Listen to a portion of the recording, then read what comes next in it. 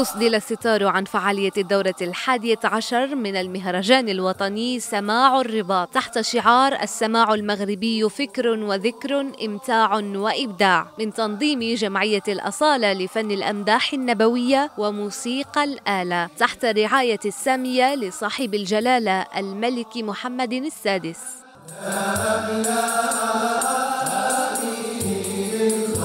على مدى يومين عاشت ساكنة الرباط أجواء روحانية كانت بمثابة سفر عبر الزمن وفرصة للجمهور الذي اكتظت به القاعة عن آخرها للسمر والاستمتاع بباقة من الألوان الفنية الأصيلة.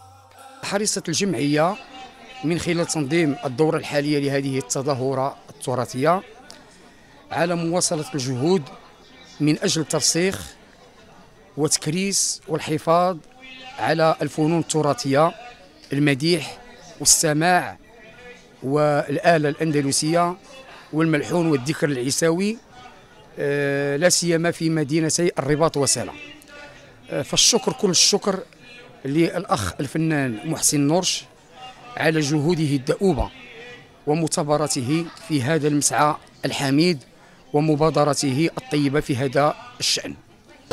برنامج غني ومتنوع بين الفكر والفن بإقامة ندوة وورشة خاصة بالسماع وأماس ثلاثية متنوعة إيمانا بقيمة التراث المغربي كثابت من ثوابت الأصالة المغربية وبضرورة الحفاظ عليه.